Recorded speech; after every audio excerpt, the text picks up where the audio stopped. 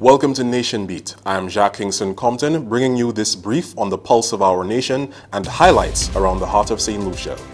St. Lucians are urged to keep an eye on the revived tropical storm Kirk. Students are armed to combat the biggest crime perpetrated in cyberspace. Remo Polio's influence on the Dennery segment is revealed. And helping improve the cottage industry one pastry at a time.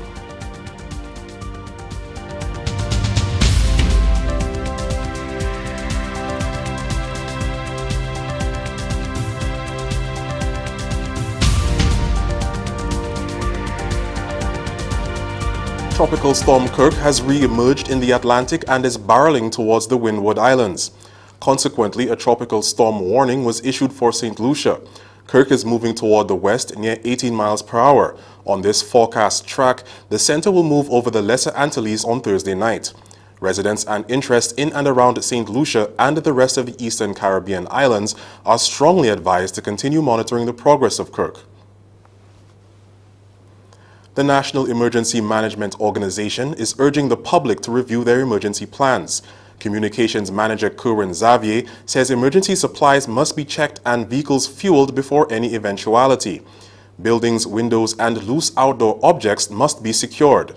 So when a, a warning is issued, as is the case for St. Lucia, we ask persons to activate that plan which they created ahead of the storm and do certain things. For instance, start storing drinking water.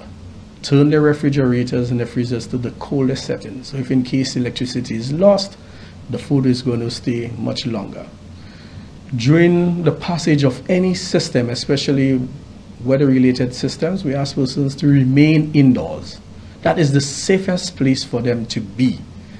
And then we always ask them, and that's the most important aspect, is to monitor the radios, monitor the media, and listen to advisories only from the NEMO Secretariat and the Met Office. Residents in low-lying areas are asked to exercise caution as flash flooding and mudslides can pose a danger. The Ministry of Education and the Department of Public Service are collaborating on a cybercrime prevention program for students benefiting from the Government Island-Wide Network or GINET project. As we hear from Anicia Antoine, the team made another stop on its roadshow. The Royal St. Lucia Police Force, in collaboration with the Ministry of Education and Department of the Public Service, continues to educate students on cybercrime prevention. This initiative is as a result of the newly installed government island-wide network made accessible to the primary and secondary school students. The cybercrime prevention training sessions are focused mainly on child soliciting, malicious software, cyber harassment, and cyberbullying. We know the environment we live in right now um, and the dangers that exist. And people may not be aware we all use smartphones, we all online, we all use social media. And this initiative is intended to sensitize, starting with the young people, um, on the dangers that exist in the online in the online world and to take be more proactive ensuring that they secure themselves their their belongings their, their assets everything um, their money and um, just being aware of that cybercrime exists and what measures they could take to protect themselves. According to Sergeant Joshua Kami, the most common type of cybercrime in St. Lucia is identity theft. The students of the Vieux-Fort Comprehensive School received level 2 training on computer misuse and cybercrime. With cybercrime, we had levels that affected um, younger children as compared to the adults. So I remained focused on the areas that affected um, those students from um, 8 years, 7 years, up to about 10 years, 11 years. Whereas with the secondary school, we're dealing with um, people from 12, 14 years up until um, 15, 16, 17 years. So the content was different, right? Although the objectives, the focus were the same, the content was different. And I also gave them better means, more advanced means of protecting themselves so they will not be cybercrime victims. Um, this included um, changing the passwords to strong passwords, avoid um, putting too much personal information on websites, especially when creating emails. The final sessions for the Cybercrime Prevention Initiative will be held at the Micoud Primary and Secondary Schools on September 27th. From the Government Information Service, I am Anicia Antoine reporting. The time frame for the completion of the Dennery Polyclinic has changed. The sod-turning ceremony for the construction of the Dennery Polyclinic took place on Thursday, March 8, 2018 at Bois. According to technical experts on the project, there was a long period of preparatory works that included site identification and preparation, detailed architectural designs, and a protracted international bidding and procurement process. The project was expected to be completed within a period of 18 months.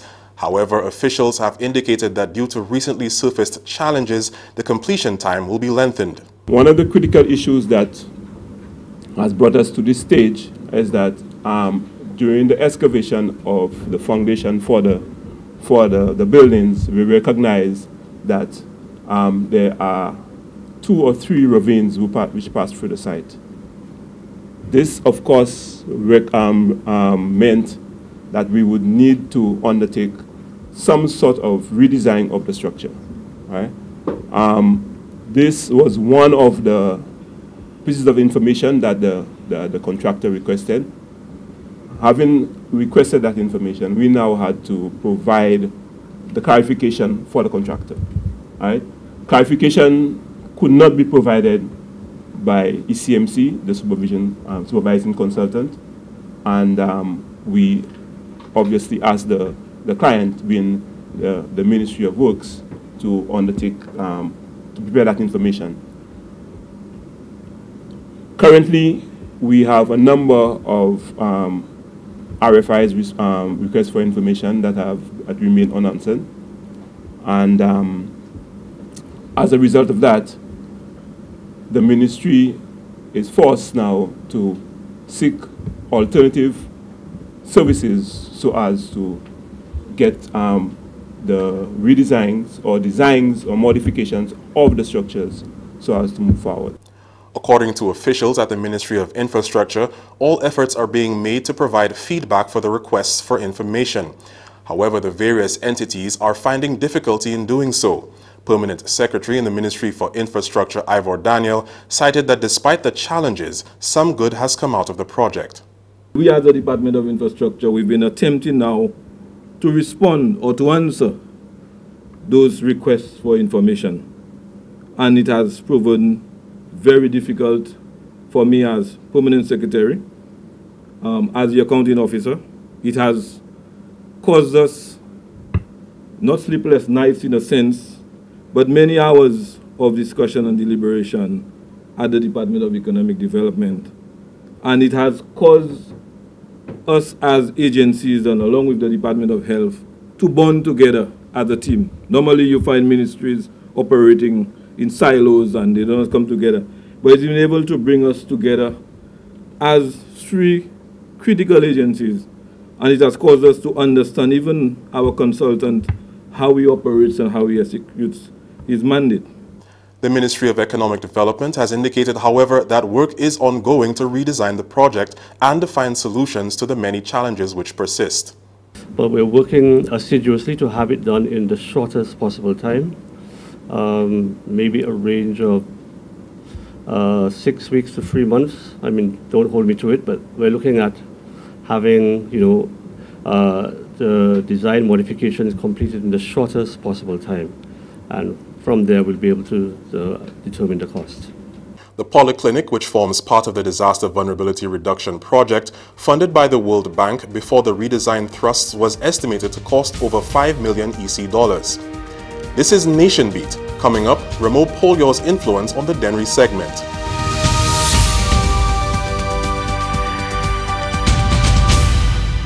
What's in the food you're eating? Do you really even know?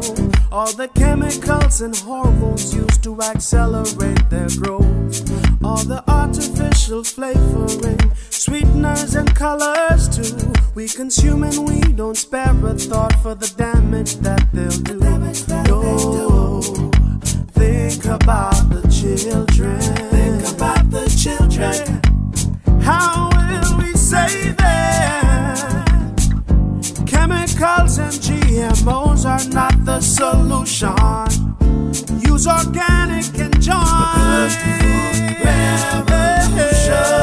Excessive agrochemical use, additives, and genetically modified foods are harmful to health and the environment. Join the good food revolution. Grow, buy, and consume organic. A message from Rise St. Lucia and the Ministry of Sustainable Development with funding from the GEF Small Grants Program UNDP. The Good Food Revolution. Welcome back. A new ecosystems management project in Fond St. Jacques Soufrière aims to improve sustainable land practices over the next few years. The initiative is entitled Integrating Water, Land and Ecosystems Management in Caribbean Small Island Developing States. Aretha Dashville, the national project coordinator, says the project was initiated as a response to the vulnerability of small island states to climate change. IWECO is a project funded by the Global Environment Facility and implemented through the UN Environment. Okay. It is a regional program and it actually, its genesis stemmed from the fact that small island developing states are effect, uh, affected more by climate change than other areas in the globe. Mm. Hence, governments in the region have to ensure that communities and ecosystems must be resilient. Dr. Donatian Gustave, research officer in the Forest and Lands Department, says government's aim is to build such resilience by educating communities about the importance of conservation. What we really want to do is to get the partial cooperation of GEF, mm -hmm. the Global Environmental Fund, mm -hmm. to empower communities to do conservation. Mm -hmm. And IWECO, the main function is to partner with them to empower communities to make the decisions. Ultimately, the project seeks to improve the livelihoods of farmers. In St. Lucia, it's very targeted. It targets the Upper Soufrière watershed, which is really Fond St. Jacques and environs. Mm -hmm. And it seeks to mitigate the poor biophysical conditions really caused by unsustainable land practices, mm -hmm. but that affect the livelihoods of farmers. Mm -hmm. The Integrating Water, Land and Ecosystems Management Project commenced in October of 2017 and will end in October of 2020. The Department of Transport is moving toward creating an environment of compliance on the nation's roads. Minister for Economic Development, Housing, Urban Renewal, Transport and Civil Aviation, the Honorable Guy Joseph, has announced that government is negotiating the establishment of an impoundment lot. Minister Joseph says motorists who fail to obey and practice the basic rules of driving will have their vehicles towed and held in the pound. If you take right here in front of the government buildings, double yellow lines and cones still do not stop people from parking at the entrance of the government buildings. And we are saying that as a country, this is unacceptable. We are sending the wrong signals when it comes to the basic things that needs to be followed. And if the rules are not going to be followed, where the administrative head of government is, and we drive in here, and I'm sure you come in and you see it all the time. People drive up on the sidewalk, they park their vehicle, halfway on the double yellow line. There are cones on the other side. And there's always congestion in this area. What we are doing is we, once the, the terms of setting up the pound is completed, a couple of wreckers will be hired. And what would happen is that when a vehicle is badly packed, it would be towed away and it would be done at the expense of the individual because these are basic rules that we must be able to abide by. Minister for Economic Development, Housing, Urban Renewal, Transport and Civil Aviation, the Honorable Guy Joseph. Home-based bakers who operate commercially have completed training facilitated by Caribbean Grains. Geraldine Bissett Joseph has details on the outreach program by the company. Caribbean Grains, Vieux Fort, held another successful baking training session in September, this time for commercial bakers who operate from home. The company's continuing program of training is part of a pledge to not only sell a range of flour to the local market, but to also pass on professional techniques to enable bakers to get the most out of products. Director of Sales and Marketing at Caribbean Grains, DeCosta Pierre, said home-based bakeries were crucial to the baking industry because they produce a variety of pastries and cakes for sale to the public. Ideally, our goal is to develop the baking industry, and we have noticed that homeowners play a critical role in baking, baking from home, and all cakes and various pastries. They sell to various institutions and they also cater and we believe that um, in developing the industry, taking a wholesome approach, working with bakers or homeowners who bake, or also working with professional bakers is the way to help in developing that industry into what we want it to become. Improvement that we've noticed during, throughout the training that we have extended to various um, bakers and, and customers of ours that you see a better quality, a better finished product, a better tasting product, the customers are able to um, calibrate or measure and ensure that they're able to maximize on the usage of the tools that they're provided with, which is the flour, the yeast, and everything of that sort. Trainee Gail Rigi of Artisan Pastries, which operates out of Union Terrace, Castries, said she was pleasantly surprised to learn the new knowledge obtained. One thing that I learned here, and I think I will definitely implement, is the fact that you need to let your, your dough rest, let, allow it to rest a lot more so we can get a better quality product. This is the first thing that I'm going to try out. Janie Girodi, who runs the home-based company Janie's Exquisite Cakes of Moule-a-Chique Vieux Fort, said she came away with ideas and techniques mainly in the baking of bread. I learned different techniques of how to use the flour, how to make baskets, how to make different types of decorations with the, with the bread dough, a lot of how to make a lot of different things using flour. Not only white flour, but we have rye flour, you had whole grain, you had all different types of flours, which was very informative. So far, baking training sessions by Caribbean Grains have instilled more confidence in participants about the preparations of ingredients to improve the presentation and taste of breads, cakes, and pastries. Ali Majahad, French baker, instructor attached to Caribbean Grains, said the participants' involvement was great during the session.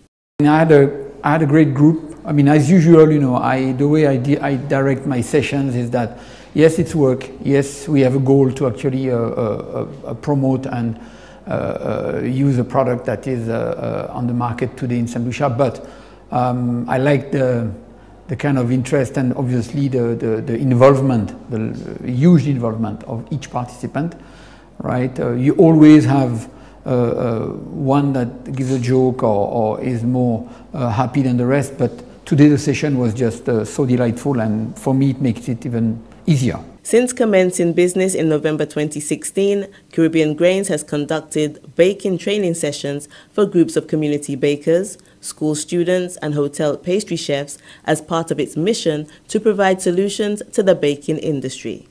For the Government Information Service, I am Jolene Bisset Joseph reporting. The Edutainment Roadshow featuring the work of cultural icon Joseph Ramo Polio made another stop on Wednesday, this time at the Castries Comprehensive Secondary School. Students were not only introduced to the folk hero, but they were exposed to the link between today's popular music and the traditional songs. Here's Janelle Norville. Icon series, the foundation engaged a group of budding arts and cultural enthusiasts in what is termed a cultural crew. The Cultural Icon Series is a national event that honors persons who have left an indelible mark on the artistic and cultural landscape of St. Lucia, as well as youthful and exuberant cultural activists. The fourth edition of the initiative features St. Lucia's renowned folk musician Joseph Ramopolio. The cultural group then embarked on an educational drive by sharing snippets of their experience with students around the island. Intended to visit 12 schools, and I must say that we have we are almost completed the 12 schools and we try to choose schools that um, that are not normally people don't normally go we went to as far as Saltibus, Dennery, Micoud, Vieux Fort and now we're within the Castries Basin, Marshall, Methodist to really heighten that awareness. And I think overall it has been well received. And I think what baffles me every time, this is not something where literature is written on a board or it scrolls up on a screen, but they actually have to listen. And how the students can recall all of those details and give the specific information where he was born, his name, his parents' name, what instrument that he played. And I think we want to show that transition into our folk traditions. Yes, we must maintain it and keep it, but we must also innovate and show the transition into a more contemporary form of culture where we embrace ourselves. What we're promoting is what is authentically St. Lucian. A 20 minute presentation, which includes music, song, narrative, and dance, documenting the life of Ramo and his contribution to the arts, were made to students throughout the various schools on the island. The schedule for Thursday, 26 September 2018 included the Castries Comprehensive Secondary School, the Bonte Preparatory School, and the Montessori Center. The teachers and students alike gave some insight into their experience. Today was an experience for our theatre arts students to observe a theatrical production, dance and drama and musical, um, which focused on the history and the contribution that a cultural icon, Ramo Polio, has made to St. Lucia. And so it was, I think, an experience for them to learn about their country and themselves and to see contemporary as well as traditional music and elements within the cultural forms that they have been studying in a practical way. I find it was an overall good performance and I learned more about my culture and Ramo Poleor. I learned that he was a very good icon and people looked up look forward to yeah people look forward to um, they looked at him they look at him as an idol well, young people, that culture little because Howard, they have the dance is actually nice. I didn't expect it to be nice. I didn't even know they had more than one cultural form of that. I learned that although many of us, the youth today, like we don't really gravitate towards the folk music, we more gravitate towards like the Dennery segments and American music. The folk music is really nice, and the dances are well, they better in my opinion and I really enjoyed it. The Cultural Icon series forms part of Arts and Heritage Month. In previous years, icons who have been recognized include Virginia Alexander 2015, Honorable Charles Cadet 2016, Garth St. Omer 2017. This year's showcase Strings, Songs and Dance celebrating Ramo will take place on Monday, October 1 at the Bellevue Primary School courtyard from 5 p.m. Admission to the cultural celebration is $10. From the Government Information Service, I am Janelle Norville. The Office of the Mayor will in the coming days assist in bridging the gap between the end of a child's school day and the end of a parent's workday when it launches its first ever after-school program. The program, dubbed PASS, Partners for After School Success, will offer free lessons in English and mathematics three days a week to disadvantaged students preparing for CXC. The after-school program was endorsed during a recent meeting with the Minister for Education, Innovation, Gender Relations and Sustainable Development, Dr. Gail Rigobert. Speaking ahead of the launch, His Worship Mayor Peterson D. Francis notes that after-school programs have been proven to increase academic achievement as well as reduce financial stress on families. Interested persons can call 452 2121 for more information or register for the program at the Office of the Mayor, Peynier Street, Castries. And that's Nation Beat. Join us next time as we feel the pulse and heart of our community. I am Jacques Kingston Compton.